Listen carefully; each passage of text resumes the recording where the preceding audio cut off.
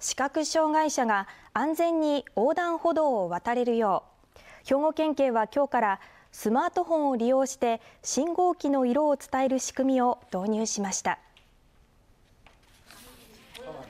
兵庫県警が新たに導入したのは案内機能を備えた通信機器で神戸市と尼崎市で合わせて11機です。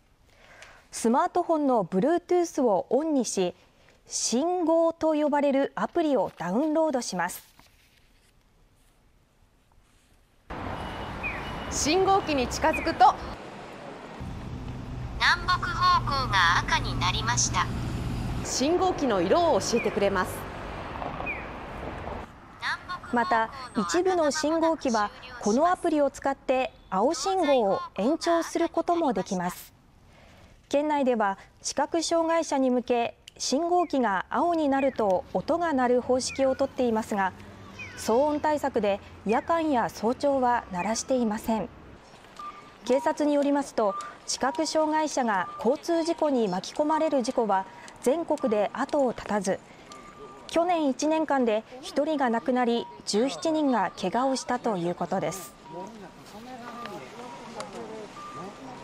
はねられたことありますバイクに。ついとったけど音が止められとったんや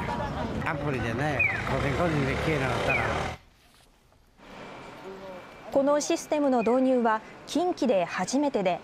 兵庫県警は今年度中にも神戸市、姫路市に9機でアプリを使えるようにするということです。